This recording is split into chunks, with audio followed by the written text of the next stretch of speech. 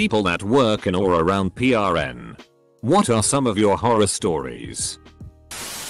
I used to do production for a couple of PRN outfits. One of my PRN actors once had a scene with a girl who was heavily into body modification. She turned up on set with a line of fresh metal piercing screwed along her spine. They were oozing and not even close to healed. Despite this as there was a deadline to be met the scene went ahead. It was soon stopped as even the slightest movement on her part made them start bleeding and oozing pus. Worked with Ron Jeremy once.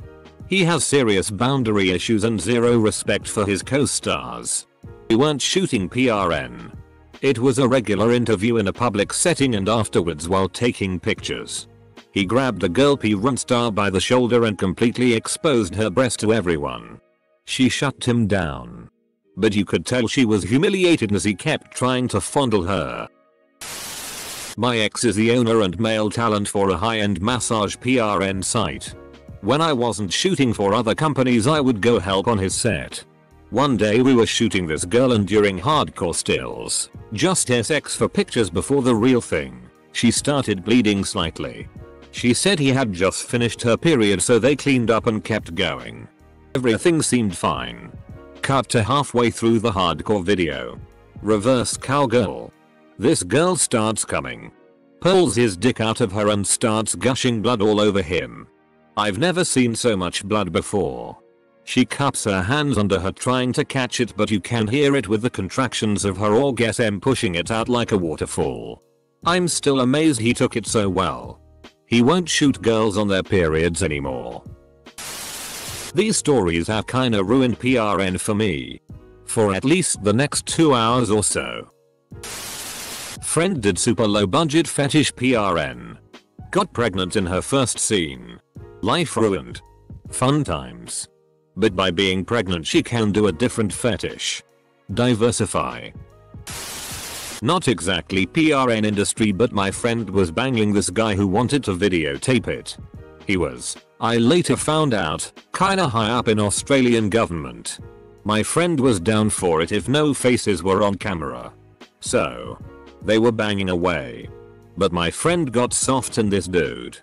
The dude was pretty pent up and gagging for it so pulled him out turned around and straight away started to suck him off. Problem was he didn't turn out to be very clean down there and was literally sucking his own tea off the dude's dick. He ran to the toilet. Gagged and vomited quite loudly. Then, all you could hear down the hallway was someone knocking on the bathroom door asking dad. Are you okay my friend took the condom off with the dude's pillowcase. Grabbed his tea and jumped out the bedroom window. He has no idea what has happened to the tape. As an Australian and a politics gossip junkie, the amount of money I would pay to know who this was is high enough to make my bank account wince. I used to do cam work I had an Instagram strictly for networking. When I broke up with my crazy boyfriend, he got into my Instagram and posted my home address. This could have gone so, so wrong. Luckily, most of my followers just called him an asshole and were super supportive. Not necessarily a horror story, but could have been very easily. This is a story from my friend who is a PRN director in Brazil. He got into some financial problems and had to take a few jobs he didn't usually do. Like filming bestiality videos. The company picks him up and they drive a few hours outside of Sao Paulo to some farmhouse where they will film a horse having sex with a woman. The female performer was late so they waited and waited. Finally. She shows up and it's his, the director, girlfriend. He had no idea she was screwing horses and she had no idea he was filming them. He said, she manipulated the fight to make what he was doing worse than what she was doing. In Brazil. Your girlfriend cheats on you with horses and not humans? Bizarre. My ex was as a fetish model for extremely long nails. No. 100% that's not why we dated. Totally not my thing. She'd been doing cam work for a few years. And occasionally I'd shoot videos with her for random requests. Dirty souls tickling. Just random stuff. Some things led to other things and eventually I had dinner with her and my parents. Who proceed to ask her, in detail, about her nails. her work, clients, what it's like, etc. During this conversation, my father mentions my mother's foot fetish. Since that's appropriate to share with their daughter. Edit. But are you a craftsman or a George Foreman? I need to know to be able to properly set the scene in my head. I recently saw a video by Red Dead Redemption. Who used to be avid in PRN. She claims that guys will crash high school parties for potential new recruits. And sway them. Then start shooting days after they turn 18. That's not a horror story. Fucked is gonna have a lot of traffic tonight. Obligatory disclaimer. This is my friend who was a moderator on a phone SX line. He would try to keep guys from going into private chat with underage kids. Accidentally disconnect them. Or figure out reasons to boot creeps off. Tricky regarding the laws and also the policies of it being. In fact. OSX line. Hard to prove someone's age. Intentions. Etc. But sometimes it was his call to make. Note. He was sorely abused as a child. Comma he got into that job because the pay was good and he has a great voice and was on their answering phone tree recording. He said that by the time he got home he couldn't stand to hear his partner talk dirty. Till if something smells when you are filming a PRN there's a lot of chance that something bad will come out of the girl's ass. We knew a girl who got caught up in the cam general craze. My husband and I have zero problem with sex workers. But we did gently warn this girl that people will ask you to do things that will be on the internet. Forever. Apostrophe. She gave us a speech about how it was none of our business and that she had dignity and wouldn't do anything that could impact future employment. Blah blah blah. Two weeks later. She was pissing in a bucket while fingering her ass. Because someone paid her $20. Edit. Obviously. There's more to the circumstances of the story than what I've boiled down into a small post on the net. So if you guys who are sending me messages telling me what I prude I am could kindly go FCK yourselves, that would be great. It happens to the best of us. One day you're a Twitch streamer. The next you're fingering your Irish tea bucket. I work for a dating site and our users are allowed to post pornographic content of themselves. A user posted a video involving a toilet brush being used in an anal gape. I was more impressed than horrified. Until I realized the potential damage this person was doing to their colon. Those Christian mingle folks are freaky. If they don't watch PRN while working. Is it SFW or NSFW? I saw Jimmy watching PRN during work. Asterisk. Yeah. Jimmy's in the research department. That's his job. I don't have a horror story. But a successful story. I dated a cam girl for a little over a year. Okay so she has an Amazon account. And it has a list of shit you can buy her and she will wear it on cam. Or she will use whatever toy. She was well known enough for guys to buy her these things. Well she moves in with me. I catch wind to this. And I have a brilliant idea. Why not put a grill on there? And some other useful household items. It worked. Lol I guess the idea I had never thought about is I used my address and the internet found out she was living with me and everyone complained on FAO. But I got a free grill UFCK heads. I used to work at a company that managed billing for a lot of PRN sites. Our sales guys would go to the PRN conventions and wait until the end of the show in order to beg for whole boxes of swag. One year. For a couple of weeks after the AV ends. Anybody at our office who stuck their head up higher than a cubicle wall would get nailed with a flying foam boob. Eventually management managed to confiscate and destroy each boob and the workplace went back to normal. I used to perform on cam with a girl I used to date. She was one of the cam girls for a pretty well known cam site. Well while we were on one night we had a request to use some ping pong balls and see if she could shoot them across the room. One of the balls eventually became lodged deep in there and we ended the broadcast. Spent the next hour trying to get it out before having to go to the hospital and get it removed. One of the most embarrassing moments in the ER I've ever had. I spent 5 years and doing various things. Crazy models, They were dime a dozen. One stands out. She was older late 30s beautiful blonde women. Incredible body. But crazy. She calls running late day. Fine shows up on drugs.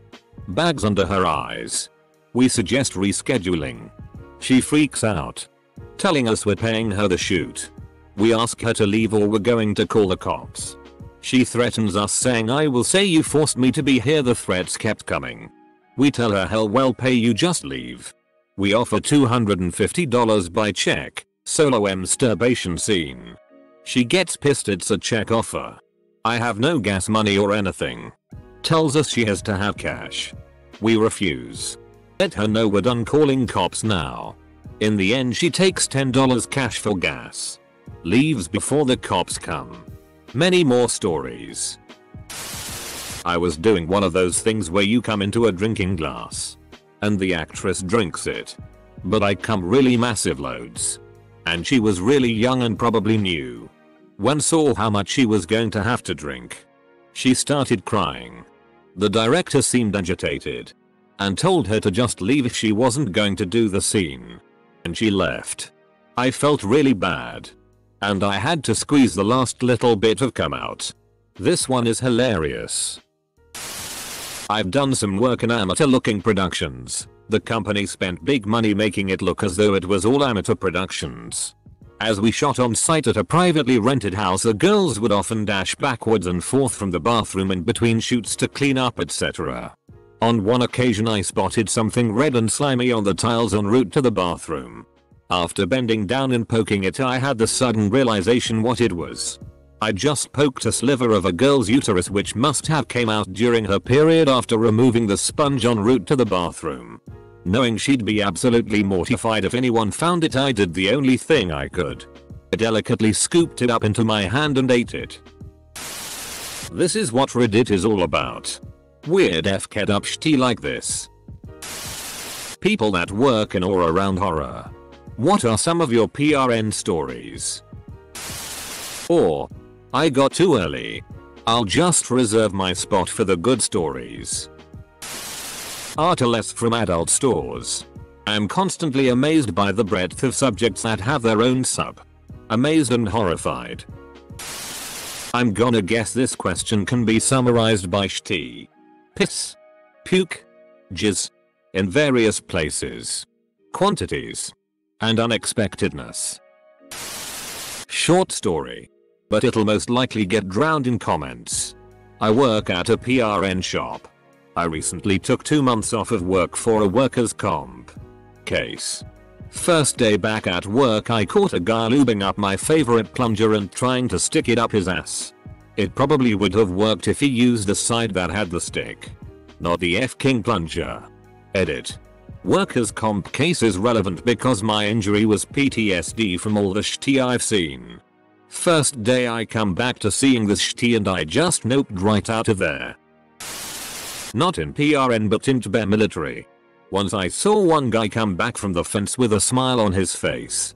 I asked him what makes him so happy and he said that he had sex with a prostitute off the fence. Now he have HIV. Bad choices kid. He was a casualty of WH-RE. I did PRN once. They gave me Viagra, cause I was shy, it never worked. Until I commuted back, via train, it was uncomfortable to say the least. Don't think I've ever confessed to being an PRN. But I was in college and had bills to pay. Never done PRN again. Edit. Like to lad was early 20s at the time. If you're in your young 20s, don't take Viagra if IT doesn't work down there then it's not going to work Sunny Jim. Don't bother. My girlfriend does cam work for one of those sites. Sells panties. Whatever. Now and then I'll hop on with her and be cute for whomever is watching. We got a request for a show. She gave me 10 ways out if I didn't want to. And went ahead. Have you ever really looked at a penis? It's one thing in a PRNO. It's another on someone's blurry webcam. As a woman who hasn't slept with any dudes, it was just weird to see. Made me feel weird about mushrooms for a while. Not actually horror. But I certainly cemented something in myself that day. Cue the Tucker Max Butt SX story. Are you talking about Tucker tries anal? Hilarity does not ensue. The thread is an hour of age and I have already seen two tampon stories. One has been deleted. What's up with PRN actress and tampons? PRN involves vaginas. Tampons involve vaginas. I'd say the fact that some are SX slaves. Really disturbing to see the faces sometimes and just think she's not here because she wants to be. They say never work with children or animals. Never is that more true than when working in PRN. Stolen from Jimmy Carr film. I heard stories from high school about a parent in the business of recruiting for PRN.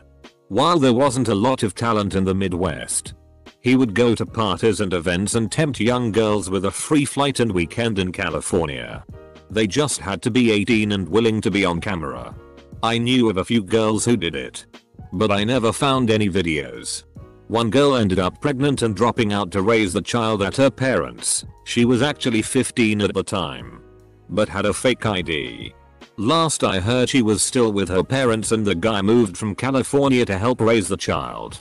Horror story with a much better ending. But it still rewrote her life. I want more disgusting tampon stories. Let me pull some strings and see what I can find out. Humans are disgusting man. I was just invited to my first orgy this weekend because I have professional recording equipment. I'll update if there are any interesting stories. So I was attending a PRN shoot with my friend. He does the filming, as I was curious about how it all worked and was somewhat considering joining the PRN industry. Well everything is going fine the guy is banging this chick real hard and apparently she had the flu that day and started to shitty and vomit everywhere at the same time. Good hell just imagine a mixture of shitty and vomit mixing together all over the nice white bed. I feel sorry for the poor bastard who lived there who rented it to them. And OMG the f-king smell was god awful. The runs and vomit do not make a great combination smell. It. No P-run stars. Not yet at least. Edit. Yay some people who've done PRN have answered now. The guy I know who draws fat furry PRN is bipolar and probably a bit retro dead. He uses his art to attract girls. Then proceeds to abuse them. Recently he took it as far as getting physically sexually violent with one of them. And she posted about it online. That was a spectacular shitty show. I shot a home movie with a friend who wanted to FCK on camera. It was some nice cowgirl and to finish she blew me off. It was all going fine till she decided as an amateur hey why don't I take this guy's dick all the way down my throat. I'm no P-run star maybe a touch above average so I didn't think it was a big deal but clearly neither was she because when while I was finishing her eyes started watering and it led to the biggest coughing fit I've ever seen. After she wiped her maroon eyes and had a minute to cool off she told me to come with her downstairs for a breezer. Her 15 year old brother was there playing just cause. She sneezed on him. She sneezed a fat rope of my jizz that had been resting in her sinuses all over him. I till date cannot look the boy in the eyes. Well I'm Molly Smash OBV. My horror story was that I was forced into PRN by my PRN manager. He was a pimp in FT. Lauderdale. He went to the DMV to watch me get my ID and sent me on a plane to NJ to shoot for facial abuse. The manager of facial abuse arped me afterwards and gave me money to stay quiet. I still don't have ownership of the video. My PRN manager spent about $100 a day to keep me drugged. I am running a PRN site and I've seen a lot of crazy PRN sites and clips for research. Just when you think you have seen it all. There is always this one video which is more extreme than the one before. There is always some extra sting puking and drinking to sum up the scenes. Asians can be really crazy goddamn it. Roommate in college did gay for pay PRN. He was always a bottom.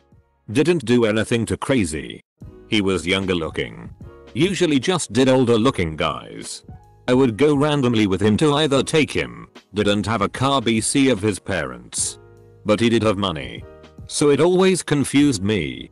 The incident I am talking about now was his first time with a partner who had a huge dick.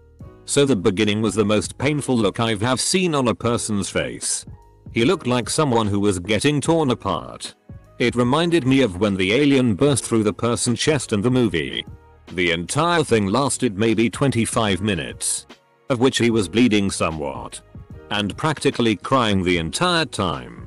His chest and face were bright red and he looked like he had just lost a fight. He wobbled to the car. And couldn't stand up or walk for the next few days. The pay was really good. But I still don't think it was worth it.